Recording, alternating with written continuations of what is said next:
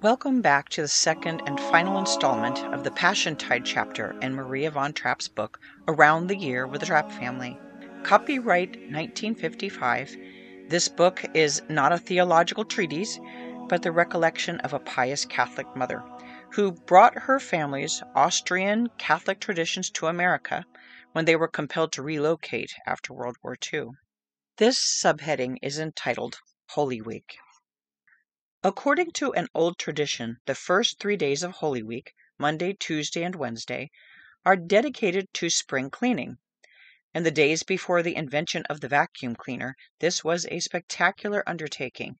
Sofas, easy chairs, and all mattresses would be carried out of the house and beaten mercilessly with a teppichpracker, or a carpet beater.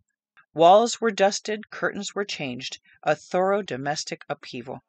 There is little time for cooking, and meals are made of leftovers. By Wednesday night the house looks spick and span. And now the great Feierabend begins. Feierabend is an untranslatable word. It really means vigil. Evening before a feast, the evening before Sunday, when work ceases earlier than any other weekday, in order to allow time to get into the mood to celebrate. Feier means to celebrate. Abend means evening. From now on until the Tuesday after Easter no unnecessary work will be done on our place. These days are set aside for our Lord.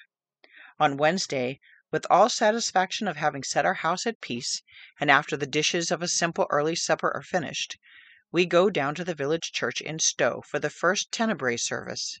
In the sanctuary a large wrought iron triangular candlestick is put up, with fifteen dark candles. We take our places in the choir and the solemn chanting of matins and lauds begins. This is the first part of the divine office, which has been recited daily around the world by all priests and many religious since the early times of the Church. In the cathedrals and many monasteries it is chanted in common. For the last days of Holy Week it is performed in public, so to speak, not only in the cathedral churches, but in any church, so that the faithful may take part in it. We always consider this the greatest honor for us, the singing family, the greatest reward for all the trouble that goes along with life in public, that we can sing for all the divine offices in church. Matins has three nocturnes, each one consisting of three psalms with their antiphons and three lessons.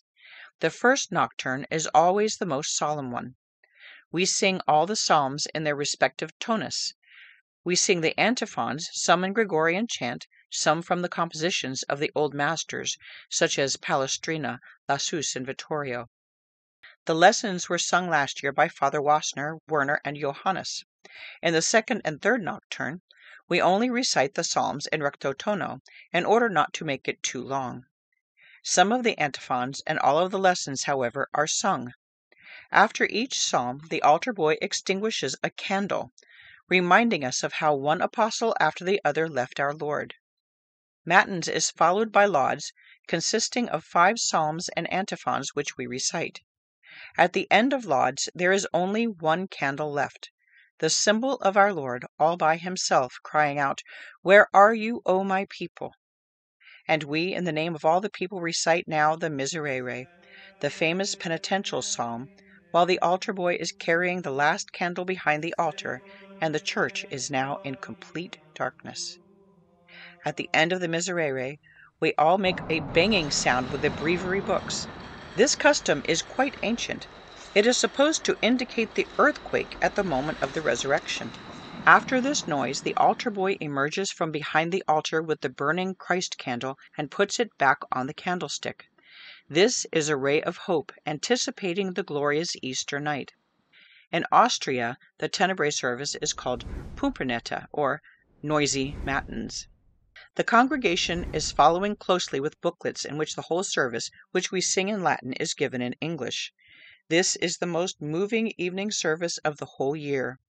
When we sing Tenebrae facta sunt, an awesome silence falls upon the whole church. And when we sing the famous Improperio Populi Meus by Palestrina, we are all moved to the depths. Is there anything more heartrending than to listen to the outcry of the anxious Redeemer? My people, what have I done to thee? or in what have I grieved thee? Answer me. What more ought I to do for thee that I have not done? On the morning of Holy Thursday, the Church in her service tries most movingly to combine the celebration of the two great events she wants to commemorate. "Who lives in memory of him," our Lord had said on the first Holy Thursday, when he gave himself to us in the Holy Eucharist, and "Father, if it be possible, let this chalice pass from me; nevertheless not as I will, but as thou wilt." This cry he uttered only a few hours later. Therefore, as the solemn Mass begins, the festive strains of the organ accompany the chant of the Introit and Kyrie, and when the priest intones the Gloria, all the bells on the steeple, as well as in the church, ring together once more for the last time, because right afterwards Holy Church, as the bride of Christ, goes into mourning, as she accompanies the bridegroom through his hours of unspeakable suffering. The organ remains silent when she reminds the faithful in the gradual. Christ became obedient unto us to death, even unto the death of the cross. The gospel of this day tells of the lesson Jesus gave us in brotherly love and humility as he first washed the feet of his disciples, afterwards saying, Know you what I have done to you? You call me Master and Lord, and you say well, for so I am. If then I, being your Lord and Master, have washed your feet, you also ought to wash one another's feet. For I have given you an example, that as I have done to you, so you do also. Therefore, in all cathedrals and abbey churches, the bishops and abbots go down on their knees on this day after Holy Mass and wash the feet of the twelve oldest members of their communities. It is wonderful that in our days more and more parishes are adopting this beautiful custom, which brings home to us better than the most eloquent sermon that we should remember this word of our Lord. For I have given you an example, that as I have done to you, so you do also, which should become increasingly the watchword in our daily life.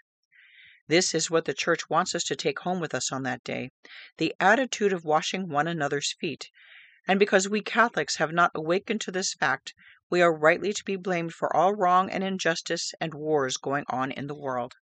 As Good Friday has no Mass of its own, but only the Mass of the Presanctified, an extra big host was consecrated by the priest during Mass on Holy Thursday, which is put into a chalice and covered up with a white cloth.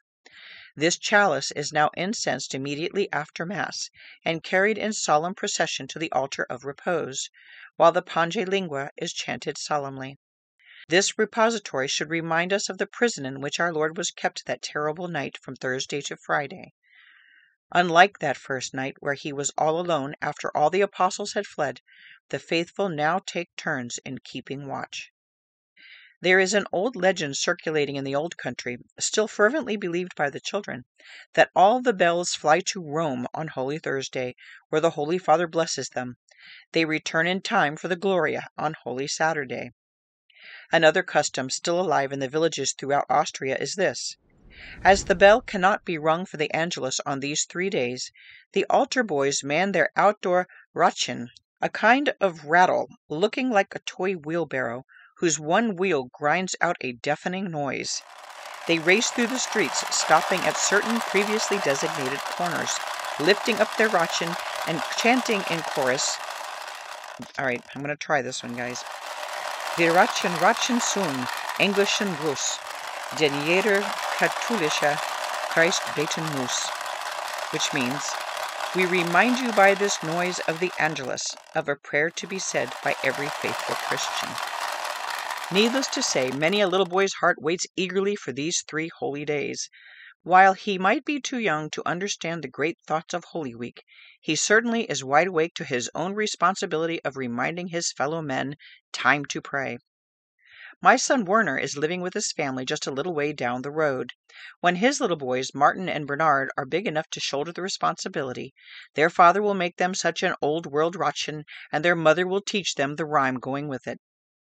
In the house also the bells have to be silenced. The bell rung for the meals or for family devotions is replaced by a hand clapper worked by the youngest member of the family, who announces solemnly from door to door that lunch is ready. Holy Thursday has a menu all its own. For the noon meal we have the traditional spring herb soup. We'll add the recipe for this soup in the show notes. Afterwards there is the traditional spinach with fried eggs. In Austria Holy Thursday is called Grün-Donnerstag, or Green Thursday. Many people think that the word grün stands for the color, but this is not so. It derives from the ancient German word grinnen, meaning to cry or to moan. Nevertheless, Grün-Donnerstag will have its green lunch. The evening of Holy Thursday finds us in our Sunday best around the dining room table. Standing, we listen to the Gospel describing the happenings in the upper room. On the table is a bowl with bitter herbs, such as parsley, chives, and celery greens; another bowl with a sauce the orthodox Jews use when celebrating their Pasch, and plates with unleavened bread, and matzos can be obtained from any Jewish delicatessen store, but also can be made at home. We'll add the recipe for unleavened bread also in the show notes. Then comes the feast day meal of a yearling lamb roasted, eaten with bitter herbs and the traditional sauce. Each time we dip the herbs in the sauce, we remember our Lord answering sadly the question of the apostles as to who was the traitor. "He that dippeth his hand with me in the dish, he shall betray me." Afterwards the table is cleared, and in front of Father Wasner's place is put a tray filled with wine glasses and a silver plate with unleavened bread.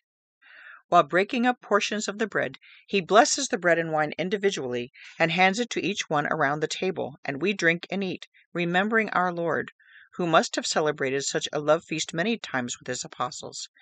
This was the custom in his days, just as we in our time will give a party on the occasion of the departure of a member of the family or a good friend. The people in the time of Christ used to clear the table after a good meal and bring some special wine and bread, and in the breaking of the bread they would signify their love for the departing one. The first Christians took over this custom, and after having celebrated the Eucharist together, they would assemble in a home for an agape, the Greek word for love feast. To share bread and wine together in this fashion, therefore, was not in itself startling to the apostles, but the occasion was memorable on this first Holy Thursday, because it was our Lord's own great farewell.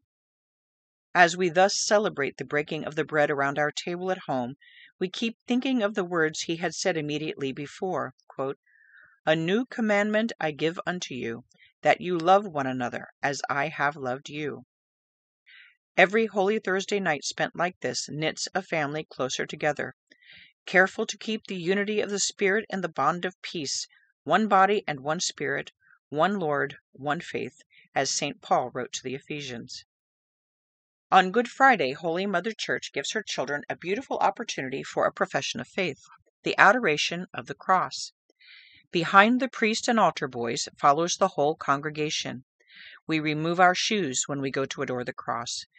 Three times we prostrate ourselves as we come closer, until we finally bend over and kiss the feet of the crucified. As we, the church choir, follow right behind the priest, we sing during the rest of the adoration. Our songs are the heart-rendingly moving Crux Fidelis by King John of Portugal, and Eberlin's Tenebrae Factus Sunt, of such haunting beauty. When the adoration of the cross is finished, the candles on the altar are lighted, the cross is most reverently taken up from the floor and placed on the altar, and a procession forms to get the Blessed Sacrament from the altar of repose. During this procession the hymn Vexilla Regis is sung, and then follows a ceremony that is not a real Mass, although it is called the Mass of the Presanctified. The priest consumes the host that was consecrated the day before. On the anniversary of our Lord's death, the bloody sacrifice, the Church does not celebrate the symbol of the unbloody sacrifice. After the official service is finished, the altar is stripped again. The tabernacle is left open, no vigil light burns in the sanctuary, but in the front of the empty tabernacle lies the crucifix on the steps of the altar, and the people come all day during the day for adoration. In Austria another custom was added.